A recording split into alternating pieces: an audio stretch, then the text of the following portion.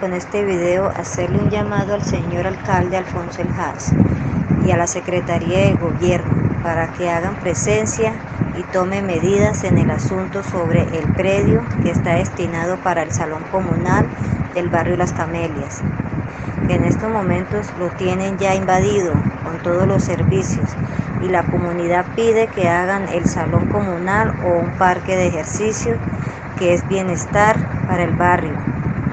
Y aparte de eso lo tienen de basurero y el, y el paso peatonal está tapado de escombros y basuras. Por eso queremos hacerle llamado al doctor Alfonso El Haas y a la Secretaría de Gobierno para que nos den solución a, este, a esta problemática.